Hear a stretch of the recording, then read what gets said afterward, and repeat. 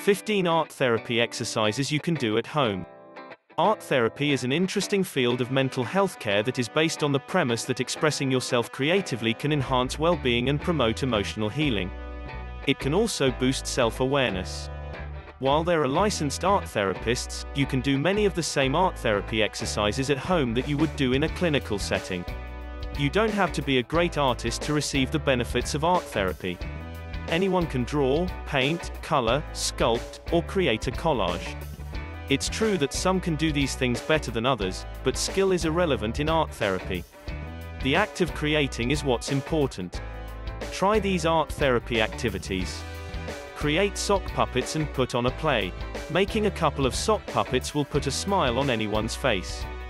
You can act out a scene from your life.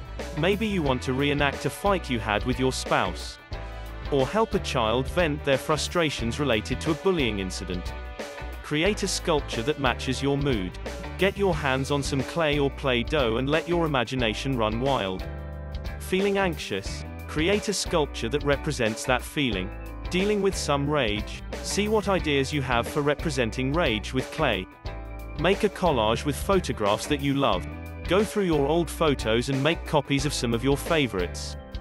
Create a collage that exemplifies the emotions that those photographs stimulate in you. Draw a picture that represents utopia to you. What is your version of a perfect life or a perfect world?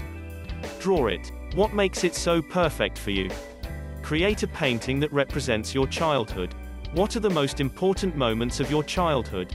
Will you include only positive memories? Or are you in the mood to get your hands dirty and deal with the negative events, too? Draw or paint your negative traits. Consider your negatively traits and find a way to represent them in a piece of art. Draw or paint your positive traits. Do the same with your positive traits. Make a flag with a motto that represents your intentions. What motto would you put on a flag that best describes your intention in life? Power, sacrifice, peace on earth, love, domination?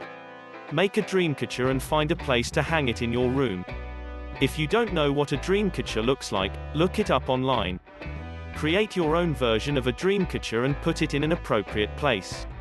Draw a scene from one of your nightmares. Since we're on the subject of sleep and dreams, recreate a scene from a recent bad dream. If you haven't tried your hand at drawing lately, now would be a good time. Build an altar. Create an altar that is unique to you and will help you to connect fully with your spiritual side. Create a map of all the personal connections in your life. Put yourself in the center and diagram all of the relationships you have.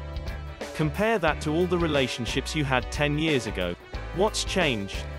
Create a website. There are plenty of places to create a free website, such as www.wordpress.com. Build a website that represents your interests. Paint a rock. List your values on the rock and put it where you can see it each day. Draw your safe place. Use any medium you like. Create a place that makes you feel safe from the world. Art therapy is a gift that you can give yourself. Pick one exercise and give it a try. Experiment and see what happens. These 15 exercises are just the tip of the iceberg. There are hundreds more for you to discover. Thanks for watching our video. Please leave a comment, hit the like button, and share our video. Be good to yourself, and stay healthy.